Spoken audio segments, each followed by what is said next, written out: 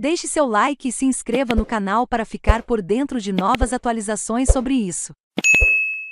O Alácio dos Santos conquista terceiro pódio do Brasil na Copa do Mundo depois de Letícia Spoladori e Vinícius Quintino. O Alácio dos Santos conquistou neste domingo a terceira medalha do Brasil no Mundial Paraolímpico de Atletismo, que acontece em Paris.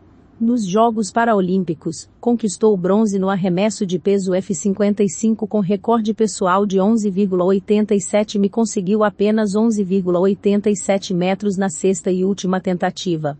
A medalha de ouro foi para o búlgaro Rusdi Rusdi, que quebrou recorde mundial com 12,68 metros para o polonês Lech Stoltman com 12,27 metros recorde do campeonato Ricardo de Mendonça, quebrou recorde do campeonato nos 100 metros T37 na qualificação para os 100 metros T37 Ricardo de Mendonça, quebrou o recorde do Mundial Paraolímpico de Atletismo com 11 segundos e 25 segundos com isso resultado ele se classificou em primeiro para a final da prova Cristian da Costa, também foi o terceiro mais rápido com 11 segundos 53 segundos nos 100 metros T3 e feminino Rayane da Silva se classificou em quinto com o tempo de 12 segundos 74 minutos para a final.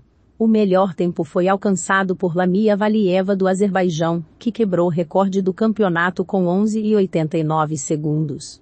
Duas brasileiras se classificaram para semifinais dos 400 metros T11.